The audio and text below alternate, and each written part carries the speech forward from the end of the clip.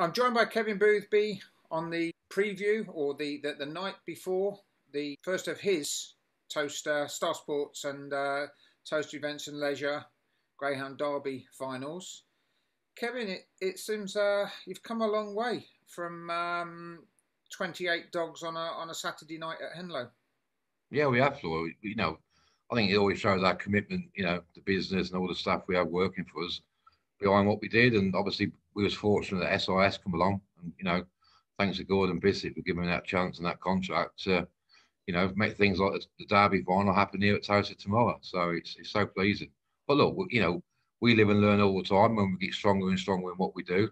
And we want to stage a better derby next year and a better derby the year after, and so on. Do you know what I mean? That's the way we are. We can always improve for it and always get better. So, but it's so exciting.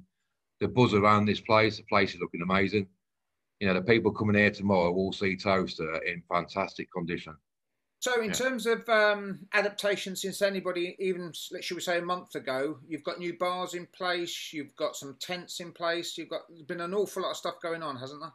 Yeah, I mean, the, the accommodation side's been frustrating. because I bought a load of this back in February, so we should have had accommodation for nearly a thousand people on site. All my pods and that I bought still haven't been delivered. The big safari tents they've come, but they're, they're a big job putting up. Uh, and because it was last minute, we put so many bell tents up. We've got so many people booked in, but we never advertised them to be sold. Even though there was on on the website, you couldn't book them because I didn't want to like people to book in and we disappoint them. So it's all been one China and the Suez Canal. That was a big hold up, and obviously Brexit and Europe, where all the pods are coming from. But look, it is what it is, Floyd, and we've dealt with that. Outside bars, straight away I sussed it from day one, but you know, we only got given the go ahead from May the 18th. We could open as a business. So we had to bring in loads of stuff straight away because you couldn't do, people can't go to the bar themselves and get a beer. So we had loads of runners outside, but you just couldn't cope with the demand. So I was always mindful of buying outside bars and I was looking. So we've now like bought two nice outside bars and we've got another outside bar now for the marquee, which is on the horse course for, for the final tomorrow night. So look, we'll improve all the time, Floyd. And we, if we get things wrong, we'll correct it and we'll look at things and we just want to get better and better at everything we do. But it's so pleasing. I mean, I'm, I'm looking out on the track now. I mean, when people see the track with the fence completely done now, it's it's it looks absolutely superb. The track is absolutely top notch. I'd welcome anybody to walk around that track and say me that ain't the best running service in the country what we've got because it is absolutely superb. Mate. Yeah, yeah. I I think the you know again, for some reason, Towcester attracts more more criticism than anywhere else. Perhaps because it is it is viewed as the premier track, and and people. But, expect... but in a way, Floyd, I think that's a good thing. I mean, people always want to knock us, criticise, and look, it's that.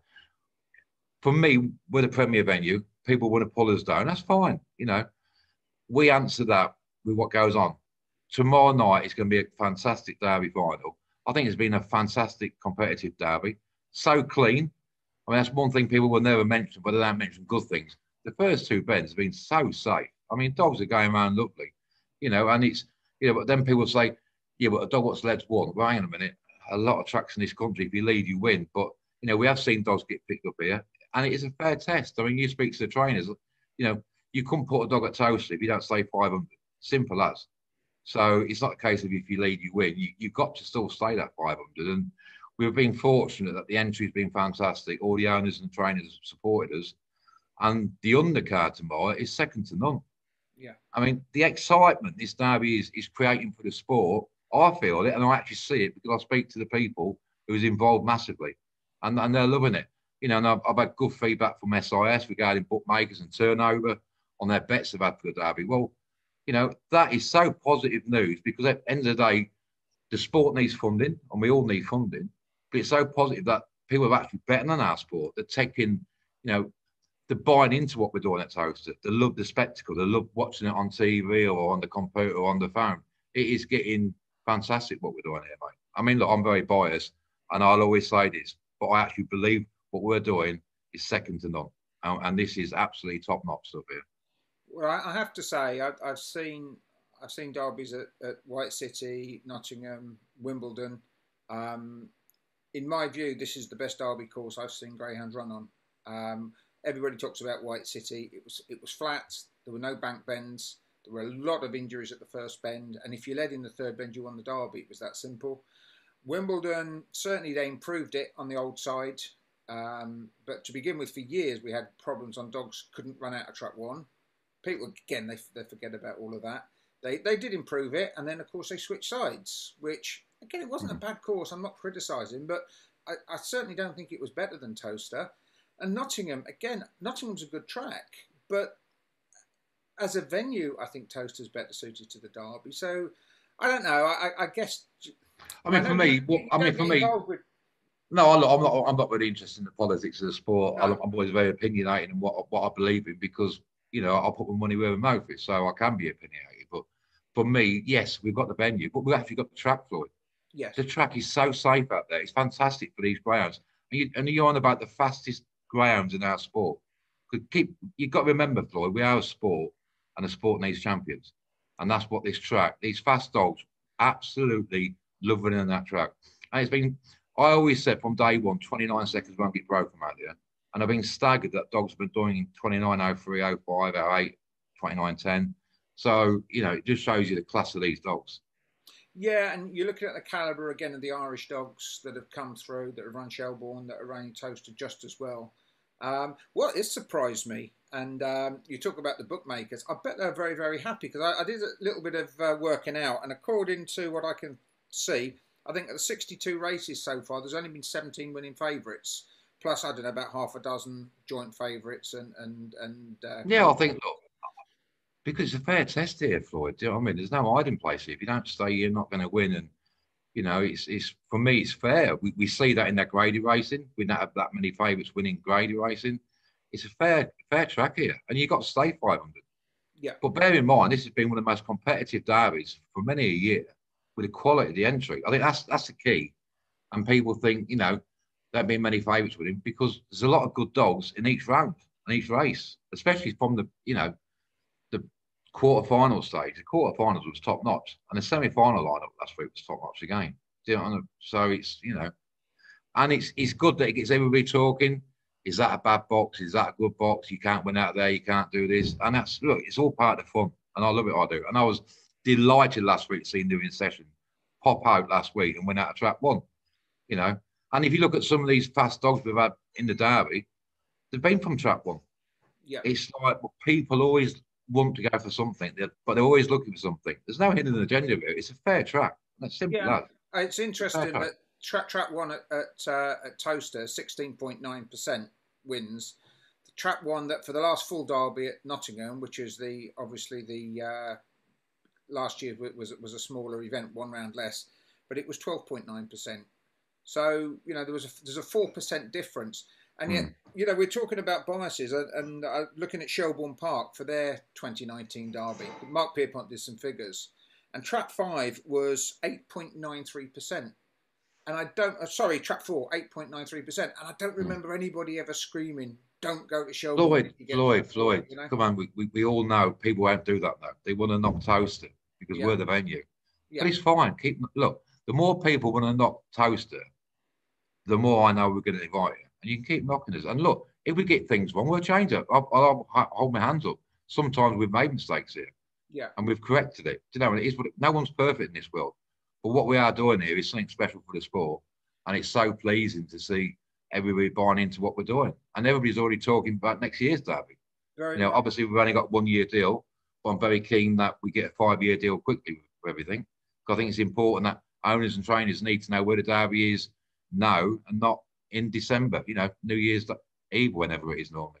So as far as you're concerned, you you will you would commit to a five year deal now? Oh, massively, yeah. I think yeah. it's important. I think for the sport going forward, it needs to be here and it needs to be for five years. I mean, yes. you know, I, I, buy dogs myself, so I relate to owners. They need to be buying dogs now getting them into trainers' kennels by September, October, getting ready for next year's derby. You know, so but that's look, that's down to the GBGB. I spoke to Matt Bird, and, and I'm sure Matt will, will will see what he can do. Do you know what I mean? So that's it is what it is with it. Yes. I don't think it's right for this. For me, it doesn't sit right with me tendering again. I wouldn't. I wouldn't tender again anyway. No. No. Because I think what we're doing here, Floyd, we're nailing it. We really are.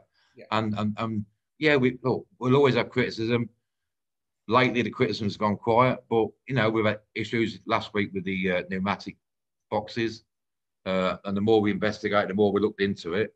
It was a problem with the pipe work. We were changing pipe work though. So again, we live and learn. We, we've never used pneumatic systems before. Yeah. So, and and the pneumatics from the compressors going across the track underground, part of it had holes in. So when it rained, it got in there and it slows the pressure down. But the big problem was because it was a busy trial session, we had 70 trials.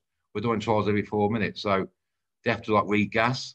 Because yeah. water got in there, it wasn't regassing quick enough for the power for the boxes to lift open. But we've look, we've corrected that now and we move on from that. So I was going to say, you, I think I've changed everything here, Floyd. Though we've changed the floodlights, we've changed the track, we've changed everything possibly we can, and you know we want it perfect for these dogs. Yeah. It's so important we have a safe and fair ground track, and I think that's what, what we got here.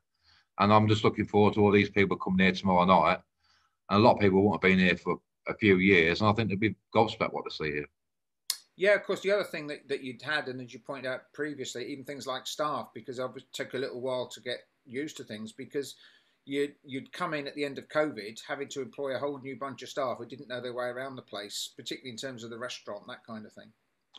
Oh, the staff, looks, when we got given a go to open May the 18th, staffing was just a nightmare. We we had to employ a load of people. We did get an agency in and, and employ that many people who wasn't trained for anything. And the biggest problem you got this day and age is chefs. You can't get chefs. Yeah. Uh, and we've gone through a few chefs, and luckily, you know, the, the new guy we've got in Lone Liam, he's done an excellent job, and he's a top quality chef. And I think everybody was impressed with the Derby lunch the other day. But it, it takes time to build what we're building, Floyd. You know what I mean? But we have got a lot of good people working here now. You know, track staff are excellent.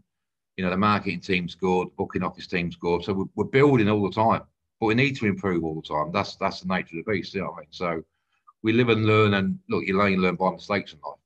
I, I think so. I, the, the one thing I do notice, and, and, and I get it back regularly from people, including people who have been critical of the mm-hmm. place, or certainly as it as it was on the old track, the the feel good factor is something you can't really see on a TV screen. You can't really experience unless you are at the track. But there is absolutely a feel good factor about the place, isn't there? There's a real buzz. It's, stag- it's staggering. We've been here for like last six weeks doing the derby, and you know, especially the derby lunch. People's actually smiling now. They're enjoying it. They're talking about next year. They're talking about buying new dogs, and, and they're coming here and, and having a good crack here. And that's what it's that's what it's all about. For at the end of the day, we're a sport, and like as owners, we need to enjoy the sport. Trainers need to have, you know, have a future for them to, to earn money and pay their staff and increase what they do in life. So it benefits everybody and breeders.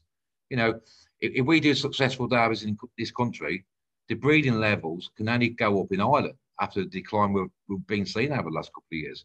But if you don't have a successful derby in England, the breeding will be just gone. And it'll be worrying for the sport going forward over the next two or three years. So it's important we get our ground derby bang on in this country. And that is critical for me. Very much. So I want to ask you about the derby, but the, the, final. But first of all, I've got to ask you about the time when you're going to be sweating, which is uh, a little bit before then, uh, with the Dorando Marathon. Oh, I think I look, it's, it's so look, Mitch, bless him. I mean, to, to sponsor that, he's, he's he's he's a fantastic owner for the sport. The Irons of War boys, again, they're all they're all great knives and everybody else. It's it's look, she's a quality rich. Irons are all you know the, the queen of marathon racing. We managed to beat her twice. She's beat us three times. Hopefully, we'll go three all. Uh, but look, they're two fantastic bitches, and I'm sure it'll be a great, great race tomorrow. I'll just hope both of them get a clean one and then it's game on, and it'll be so exciting for you know a very busy crowd here. So I can't wait. But no, well, I want to thank you know Mitch again. And again, it's unfortunate. Originally, Dorando was a shorter trip, and it wasn't for the incident we had last week. We was going to put them new boxes in, but we had to do the uh, new pipe work for the pneumatic uh, system. So, but no, I can't wait for it. And to uh, I tried having a winner a couple of years ago at Notts with Savannah Winner at uh, Nottingham, and that went wrong. So hopefully we'll, we'll get it right this time. But look, it'd be a great race and good luck to all the dogs in the Dorando. And the final itself, what do you fancy? you were saying last week's form over the semi-finals, track three. But for me, I think I'm going to be nosy, and I, will actually bet the one dog and the six. Do you know what I mean? I, I think they're both nice prices. Uh, I think Patrick's dog's been sensational since he's been at Towcester, to be fair. Uh, winning the, the maiden derby, and he just flies around here. And he's got a pink break in him. Uh, with Rayla being in five, he could have all the room in the world. But as regards to one last week, New Inception, he's a very fast dog. He's he's never really he's never really ran well at Towcester as such, but he keeps qualifying. Last week he's got it right at one. He's done a reasonable split. He's done a good time. So the two's the two's the champion, Deerjet Sydney, he's different class as well. That it, it is a great final, Floyd. And it's a final. And Kilara Lion, might be funny, there'd be people out there being nosy at 33 to 1. Yeah. So, and even Buddy McWild in five. You can name them all and you can bet them all. That's what we want a competitive derby where every dog's got a chance. Surely. That is the name of the game, what we're doing. It, it absolutely is. I mean, when, when you're looking at, say, Kilara Lion, is what's three three cat ones, and he's going to be the outsider of the field. Uh, yeah. there's so much about the caliber of the six dogs in there, doesn't it? And uh, oh, it's, it's crazy, but it's, it's, it's a pleasure to watch, and you know I've been very lucky that I've been here watching these fast dogs run around here because it's it's a it's a great spectacle, and we have to appreciate these dogs. Yeah, I mean, certainly I've known you long enough that if you weren't if you weren't there as a promoter, you'd, you'd have been out, out on the terraces tomorrow anyway, wouldn't you? Yeah, yeah, and it's and it's look, I, I can't tomorrow can't come soon enough for me. You know, we've had a, a long week. There's been a lot of planning going on behind the scenes, but I enjoy all that. For me, it's you know, sometimes you get a bit stressed with it all, but no, I, I love all of that. I love being busy. The staff's reacting nicely to it, and you know, it's it's good, and the place is looking amazing. How many people are you expecting tomorrow? We, we, we, what how we've done it with, with staff and trainers, with, you know, be about 3,000 people here. You might get a few more, but look, I'm delighted with that. Going back six weeks ago, we was looking at probably hardly anybody here for Derby, which would have been, from a financial point of view, a disaster to be fair. But we've had to do social distancing in all the boxes. That's been sold out for ages. The restaurant, that's been sold out for ages. And also the marquee, we've got to do social distancing. But look, Floyd, I'm happy we've got a good crowd in. I'm happy there'll be 3,000 people coming here seeing Towcester a lot for the first time in three years, and hopefully they'll go away with that good feel factor. You know what I mean? And that's that's the key to all this. So hopefully they'll enjoy what we're putting on throughout the, the day and the night.